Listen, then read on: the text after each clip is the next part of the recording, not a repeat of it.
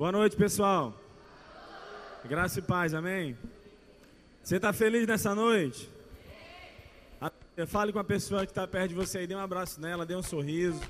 Cumprimente aí essa pessoa, diz aí, que bom que você está aqui, né? Que legal que você veio.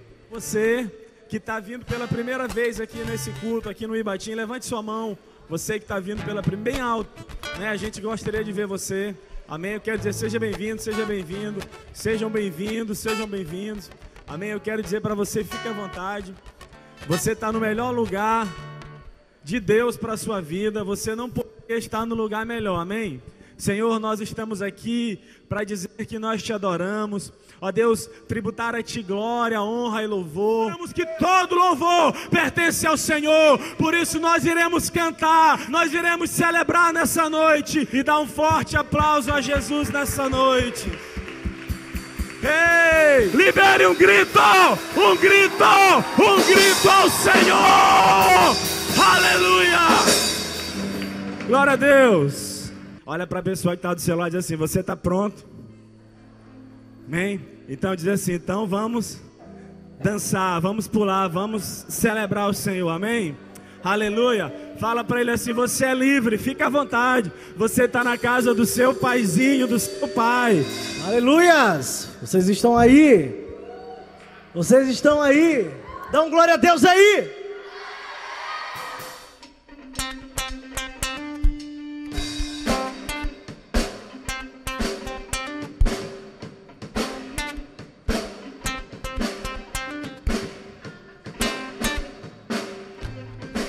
Nas palmas.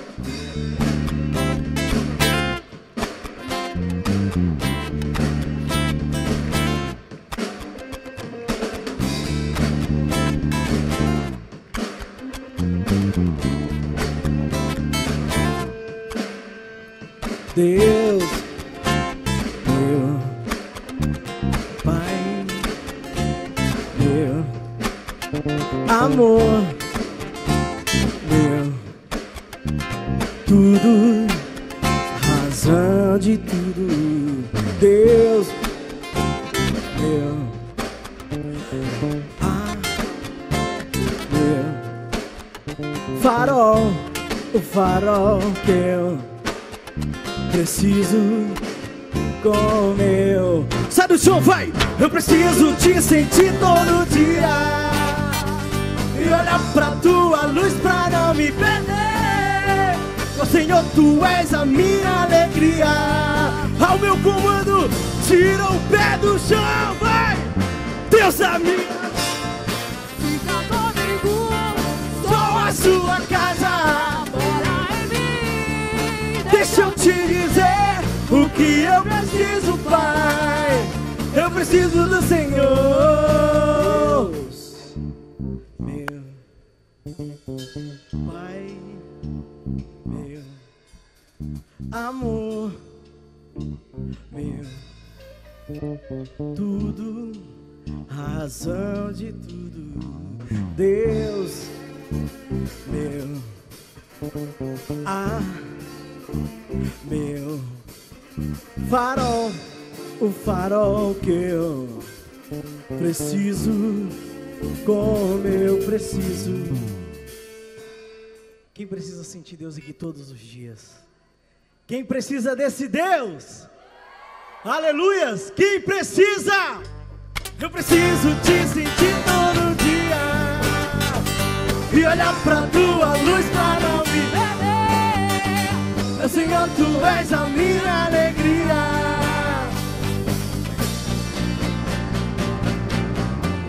Comigo, sou a sua casa.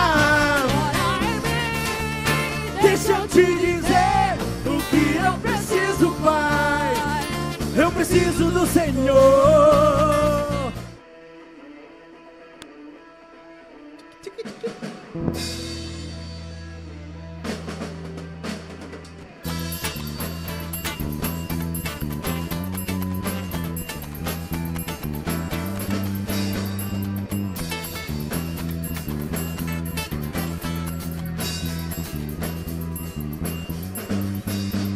Jesus morreu na cruz pra perdoar nossos pecados. Judas o traiu. Jesus morreu na cruz pra perdoar nossos pecados. Judas o traiu. Aquele cabra safado é o.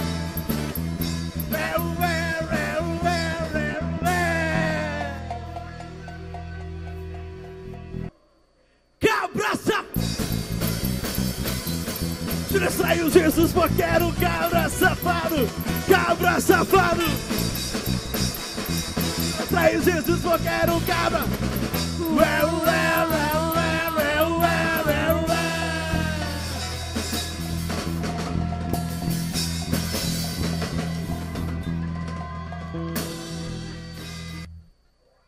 Cabra safado.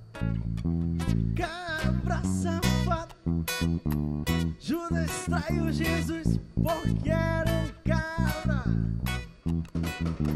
Cabra safado. Cabra safado. Judas traiu Jesus porque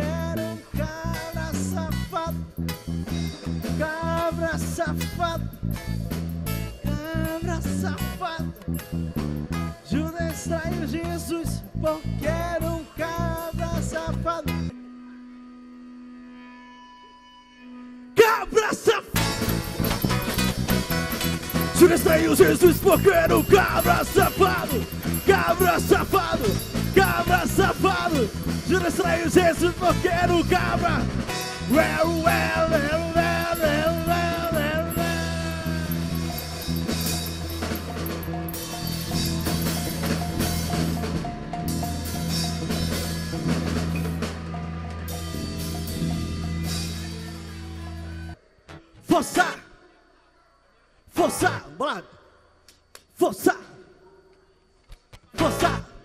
Deixa eu ver.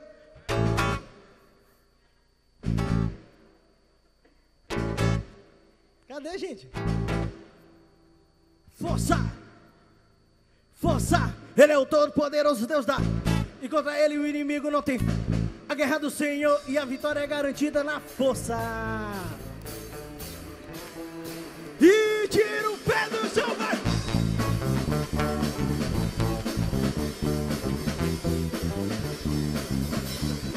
Força, ele é o todo-poderoso Deus da força. E contra ele inimigo não tem força. A guerra do Senhor e a vitória é garantida na força.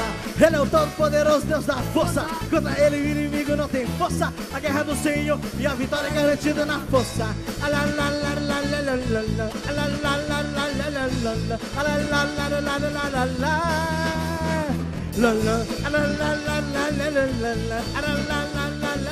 La. Foi assim com Moisés, com o braço forte, Deus liberta o seu povo ali dos montes de Faraó. Foi assim com Daniel na cova dos leões, meu irmão, mas é assim com você. Esgotadas as possibilidades e o dia a derrota conhecer. O Deus da força está contigo, Deus guerra é o Deus pode tudo, tudo, tudo, tudo, tudo, tudo, tudo, tudo, tudo, força. Força, ele é o todo poderoso Deus da ele o inimigo não tem força, a guerra do Senhor e a vitória garantida na força. Deus dá força e contra ele o inimigo não tem força, a guerra do Senhor. E a vitória é garantida na Sabe o que acontece quando estava ali no quarto em oração? Deus luta por você e vence por você, te entrega a vitória nas mãos. Esgotadas as possibilidades e o dia a derrota conhecer. O Deus da força está contigo, Deus da areia é o Deus que pode tudo, tudo, tudo, tudo, tudo. que essa noite é uma noite muito especial. É o primeiro encontrão evangelístico que nós estamos fazendo, encontrão jovem. Mais uma vez eu queria saber quem está visitando essa igreja hoje. Levante sua mão. Você que não é membro daqui, mas que está nos visitando nessa noite. Eu quero dizer que você é muito bem-vindo, muita gente. E eu quero falar para você uma coisa, ó. Você é a pessoa mais importante nesse lugar, amém? Depois do Espírito Santo. Vamos orar pelo pastor Cláudio nessa noite? Pastor da Rede Compaixão, do projeto Restauração. Aleluia. Nós te agradecemos pela vida do teu filho nessa noite. Ó Deus, oramos, ó Deus, profetizando, Deus, uma bênção especial sobre a vida dele, de tal maneira que ele seja como um canal, um instrumento, ó Deus, poderoso em tuas mãos. Amém? Ok. Vamos lá, esse encontrão ele é dividido em duas partes. A primeira parte é essa. Eu queria que você já colocasse o cinto de segurança e não tirasse, por favor, o pé do acelerador. Porque assim, para nós falarmos de Deus, nós vamos ter que falar sobre o diabo. Para nós falarmos do céu, nós vamos ter que falar sobre o inferno. Para nós falarmos sobre a luz, nós vamos ter que falar sobre as trevas. E aí no final, quem decide somos nós. Porque esse mesmo Deus que é amor é juízo. Repita comigo: Deus é amor. Mais sorte, Deus é amor. Mas Deus é também juízo. Na verdade, na verdade, o nosso desejo, o nosso clamor é que cada um volte para casa com o maior de todos os presentes. Quem sabe dizer o nome? Jesus Cristo, que é o caminho, a verdade e a vida. Dá para comparar Jesus com essa bicicleta? Não dá, né? Mas se eu estivesse no seu lugar, eu sairia com essa tão grande salvação. Onde você passará a sua eternidade?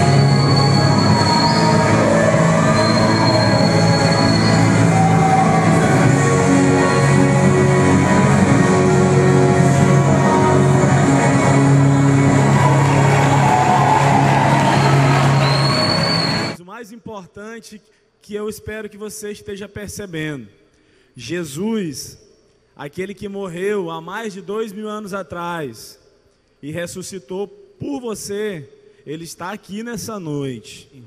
Nós estamos aqui exclusivamente por causa dele. Nós estamos aqui de uma forma muito especial, porque sabemos que ele tem um propósito para essa noite, para as nossas vidas. Lucas 7, 22.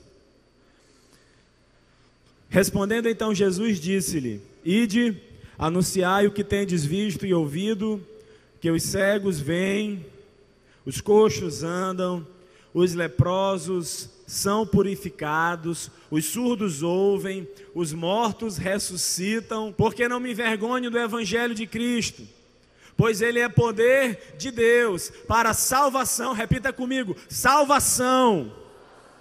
Repita mais forte: salvação. Ele é poder de Deus para a salvação de todo aquele que crê. E quando o Evangelho é anunciado, os milagres do Senhor acontecem. E o maior deles está acontecendo aqui nessa noite, porque o Espírito Santo de Deus, ele está se movendo nesse lugar. Então, olha só.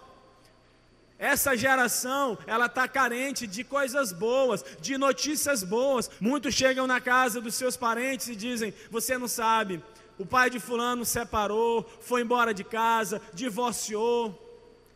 A filha adolescente da fulana de tal está grávida do namorado. São notícias tristes, não é verdade? E isso é o mais comum que nós vemos. E eu, eu tenho certeza que se eu fosse pedir para cada um aqui contar uma notícia triste do meio onde você vive, lá da sua família, eu tenho certeza que muitos aqui teriam uma notícia ruim para me contar. Vou lá fora, o mais comum, hoje uma coisa que está muito na moda é o bullying, não é verdade? Lá na tua escola alguém faz bullying? Hein? Não faça isso com ninguém, não é verdade? Mas o que é impressionante como as pessoas olham para alguém, eles procuram o defeito daquela pessoa para tirar onda, para tirar sarro. Isso é o que o mundo nos ensina. A gente reconhecer as pessoas pelos defeitos e não pelas qualidades. Talvez você chegou aqui e lá onde você vive, as pessoas debocham de você, você sente-se inferior em alguns momentos da sua vida. Mas Deus, Ele te chama de uma forma diferente. Ele deseja aperfeiçoar as suas virtudes, as tuas qualidades e te usar para o louvor da glória dele. E nessa noite eu tenho uma boa notícia para você. Na verdade, eu tenho três boas notícias para você. Talvez você tenha até uma certa condição financeira, talvez você tenha uma namorada bacana, talvez você estuda numa boa escola, mas parece que está faltando alguma coisa para você ser feliz completamente. E sabe o que falta para você? Duas coisas: salvação e paz. Repita comigo: salvação e paz. Aleluias. Como eu falei, eu tenho três notícias só para finalizar a minha mensagem para você nessa noite. Primeira coisa, ei, você é alvo do amor de Deus. Isso é tão simples e você já ouviu isso muitas vezes, mas eu não posso vir aqui e falar do amor de Deus sem deixar essa verdade mais uma vez enfatizada diante de você. Você está aqui porque você é alvo do amor de Deus. Você poderia estar em muitos lugares agora, mas Deus te atraiu para esse lugar. Coloque a mão no seu coração e diga assim: ó, eu sou alvo do amor de Deus. Você é alvo do amor de Deus. Ele te amou de uma forma impressionante. Não existe quando diz assim na Bíblia, ó, pss, escute. Quando a Bíblia diz ele amou de tal maneira, quando diz tal, é porque não tem palavras para expressar. O autor colocou assim: ele te amou de tal maneira, de uma maneira gigantesca, infinita, que ele enviou o seu único filho para morrer em seu lugar, para que você que crê nele não morra, não pereça, mas possa receber a vida eterna. Segunda notícia que eu tenho para dar para você. Segunda notícia, ele quer te transformar em filho. Ei, Deus quer fazer de você filho dele. Marcos, versículo, capítulo 16, versículo 15, está escrito assim: E disse-lhes: Ide por todo o mundo Pregai o evangelho a toda a criatura. Amém? Ele diz assim, ó, vá pregar o evangelho. Ele não diz assim, ó, vá pregar o evangelho a todos os filhos de Deus. Ele diz, vá pregar o evangelho para toda a criatura de Deus. Então a humanidade, ela é criação. Nós somos feitos criaturas do Senhor. Existe uma diferença. Mas em João capítulo 1, versículo 12, está escrito: Mas todos quantos o receberam, ei, mas todos aqueles que o receberam, a este ele deu poder de serem feitos filhos de Deus. Só pode ser feito aquilo que não era, não é verdade? Se ele diz agora, alguém recebeu a Jesus, e porque ele recebeu, ele agora também recebeu um poder, e agora ele se tornou filho de Deus. Deus quer tornar você, que é apenas criatura, ele quer fazer de você sair daqui um filho dele, com livre acesso. Filho, né? Você lembra que um filho verdade que tem um relacionamento amoroso com seu pai, que recebe amor do seu pai e que tem intimidade com ele, ele tem liberdade, não é verdade? Ele entra na hora que quer, ele abre a geladeira, ele entra no quarto, ele vai no escritório do pai dele, ele pede o presente que ele quer, ele deita no colo do pai, ele recebe um beijo do pai. Talvez você não tenha essa intimidade toda com seu pai biológico. Mas nessa noite você pode sair daqui com essa intimidade, com o seu Pai Celestial. Ele quer fazer de você filho dele. E a última notícia que eu quero dizer para você: Jesus, eles jamais vai te deixar sozinho. Você chegou aqui e talvez você ainda não teve um encontro verdadeiro, genuíno com o Senhor. Mas nessa noite ele diz para você: você é alvo do meu amor. Eu quero fazer de você nessa noite meu filho querido, meu filho amado. Eu quero te pegar no colo e cuidar de você. E por fim ele diz assim: e ainda digo mais: jamais eu vou te deixar sozinho. Olha, essa semana eu me lembrei agora de um fato. Eu estava levando a minha filhinha na escola e ela tem 5 anos de idade. E eu estava indo, né, no carro levar ela para a escola. E eu fiquei de encostar num comércio para comprar um lanche, para botar na lancheira. Não deu tempo de preparar o lanche dela em casa. Eu disse, Bia, espera aqui. Eu vou ficar aqui no carro. Eu parei na porta do comércio. Eu vou aqui comprar alguma coisa para você lanchar. E eu fui, eu demorei uns cinco minutos. Quando eu voltei para o carro, ela estava fazendo beicinho de choro. Ela já estava quase abrindo o berreiro. E eu disse: O que foi? Porque tu está assim? Ela disse: Eu pensei que o senhor não ia voltar. Eu fiquei com medo de o senhor não voltar e ela começou a chorar. Ela deitou no meu colo dentro do carro e começou a chorar de uma forma muito mansa, sabe? E eu encostei a minha cabeça na cabecinha dela e disse assim: Papai nunca vai te deixar sozinha, minha filha. E eu disse assim: quando você estiver feliz, papai vai estar lá do seu lado para se alegrar contigo. Quando você estiver triste, papai vai estar lá para chorar com você. Não importa o momento da sua vida, eu jamais vou te deixar sozinho. E eu quero dizer uma coisa para você nessa noite, é isso que Jesus está dizendo para você, sabe? Talvez em alguns momentos da sua vida você tenha se sentido sozinho, você tenha se sentido rejeitado. Talvez você não tenha tido carinho, afeto, amor do seu pai ou da sua mãe. Mas Jesus, ele olha para você nessa noite e ele declara esse texto que está no livro de Mateus, capítulo 28, 19 a 20. Portanto, ide fazer discípulos de todas as nações batizando-os em nome do Pai, do Filho e do Espírito Santo, ensinando-os a guardar todas as coisas que eu vos tenho mandado. E eis que estou convosco todos os dias. E eis que eu estou junto de você todo o tempo, todos os dias, até a consumação dos séculos. Cara, é isso que Jesus está dizendo.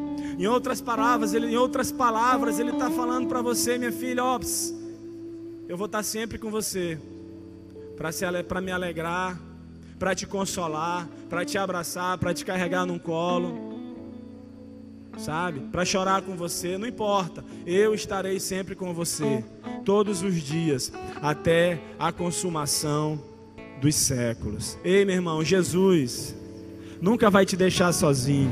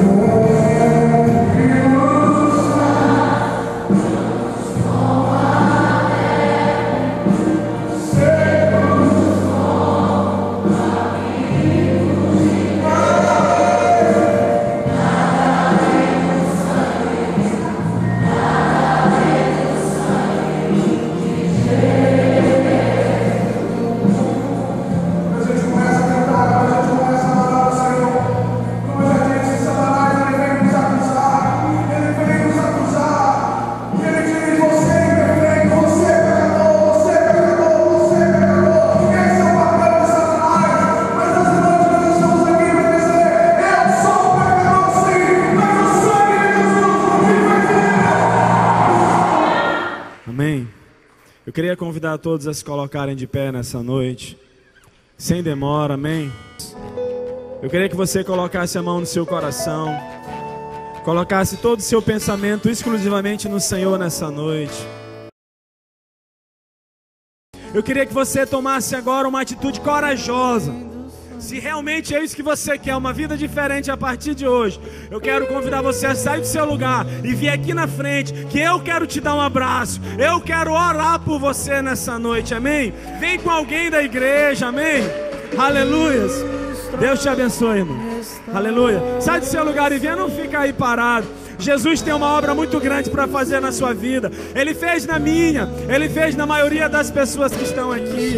Amém? Eu queria convidar os irmãos da igreja a vir dar um abraço nessas pessoas. Vocês estão aqui na frente. Oh, glória a Deus. Deus te abençoe, cara. Deus abençoe. Deus te abençoe. Deus te abençoe. Talvez você chegou aqui nessa noite e você um dia conheceu a Jesus, serviu a Ele numa igreja, mas por algum motivo você se feriu, se magoou. Talvez por alguma razão você se afastou dos caminhos do Senhor. Eu quero convidar você que está nessa situação a se reconciliar nessa noite, a se reconciliar com Deus. Amém? Hey, isso é uma atitude para pessoas corajosas. Isso é uma atitude somente para quem é filho de Deus. Por isso que a Bíblia diz que quem recebe a Jesus recebe poder, porque precisa de coragem, precisa de poder. Se você é homem, precisa ser muito macho para fazer isso. Se você é mulher, precisa ter muita coragem, ser uma mulher de fibra para você consagrar sua vida ao Senhor. E essa é a melhor decisão da sua vida. Aleluias. Se ainda existe alguém, você pode vir. Eu quero orar por você. Aleluia. Uma salva de palmas para Jesus. Algumas pessoas ainda. Aleluia. Deus abençoe. Pode vir, pode vir. Glória a Deus. Glória a Deus. Glória a Deus. Obrigado, Jesus. Senhor, nessa noite, nós como igreja, abençoamos cada uma dessas pessoas. Declaramos que a partir de agora, ó Deus, eles vão desfrutar de uma nova vida, ó Jesus, de uma vida abundante na presença do Senhor como igreja, como autoridade constituída pelo Senhor, eu profetizo toda maldição quebrada, desfeita agora. Oh Deus, todo trauma, todo sentimento de rejeição, todo complexo, toda mentira que o diabo falou para você e que você por muito tempo acreditou, a partir de agora está cancelado, anulado pelo poder do nome e do sangue de Jesus. E nós, como igreja, declaramos uma nova vida nós declaramos a presença de Deus abundante sobre você. Que você desfrute da vontade do Senhor, que é boa, perfeita e agradável. Não só hoje, mas todos os dias da sua vida. Em nome de Jesus. Você agora é filho de Deus. E por isso você merece um forte aplauso de toda a igreja. Amém? Aleluia, aleluia. Olha aqui para mim. A Bíblia diz no livro de 2 Coríntios, capítulo 5, versículo 17. Está escrito desse jeito: se alguém está em Cristo, nova criatura é. As coisas velhas se passaram e eis que tudo se fez novo. Não importa o que você fez, de hoje para trás. A Bíblia diz que as coisas velhas se passaram. A partir de agora, tudo, absolutamente tudo se faz novo. Deus tem uma nova vida para você. Deus tem presentes para você. Amém? Que você possa desfrutar de cada uma delas. Mora em